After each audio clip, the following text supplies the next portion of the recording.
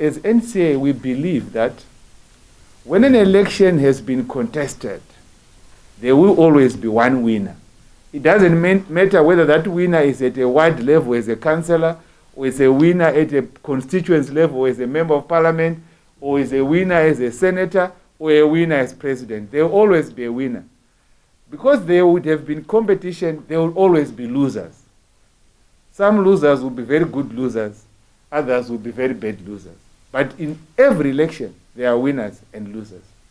The NCA believes that for any country to progress, whoever wins an election must take office in terms of the constitution. That is the person who would exercise the functions of a councillor or the functions of an MP or the functions of president. But they must, that's our belief as in a party, they must work with their losers. Between an election and the next election, governance must be an affair of those that have won, who are running affairs of state, and working alongside those that have lost elections.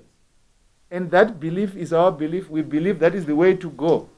So there must be a pollard in every ward.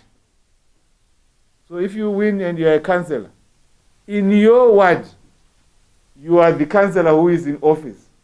You go to the district or uh, rural district council, by, or you go to the urban council. But within that ward, you must look out for those that lost elections competing with you. Try to work together. What do I do here? What are your views and so forth? If it is an MP, you have won as an MP, you go to parliament. You will be the one who will be in parliament. But when you get back to your constituency, look out for the losers, those you competed with.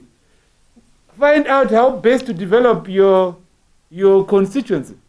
And then if it is at a provincial level, we expect that those who are in the MPs in the province, they must look out for the politicians that lost as you go to the next. Similarly, at national level, if you become president, if I become president, I'll work with losers.